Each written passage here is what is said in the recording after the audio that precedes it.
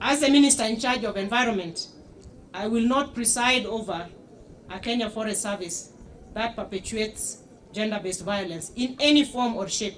We really value highly the support and contribution of the communities. On the other part, we expect full cooperation from the communities because we have also had instances of attacks on Kenya forest officers as they are going about their enforcement duties. We must strike a balance. And I want to assure you that we will not tolerate uh, forest illegalities. We will not tolerate any criminal acts by our KFS officers and also encourage our communities to cooperate and work cordially with the Kenya forest officers. Matters of encroachment, uh, land grabbing in certain areas, as we have seen in a map there, which show that some parts of South Marmanet Forest have a problem with regard to encroachment. We will and are actually in the process of investigating these cases to ensure that all gazetted forests are rightfully returned to the government for conservation purposes. Eh, shughuli hiyo ya fencing imeanza kule Mau Forest.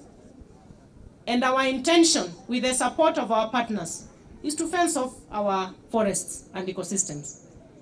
Na tumekuwa na uhalifu mkubwa katika uh, misitu yetu. Saa ingine watu wanasema wanaingia ku, kulisha ng'ombe.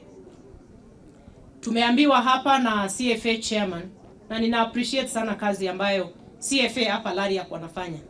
Wamesema mambo ya ya pelis ambayo ni ile eh, intercropping ya miti na chakula, lakini tumepata cases ambazo mtu anaingia kusema ni pelis, unakuta wanaingia na matinga ndani ya forest.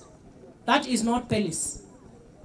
Na sasa wale wanafanya hiyo wanaharibia wale wengine ambayo wanaweza kufanya ushirika mwema na KFS under controlled measures.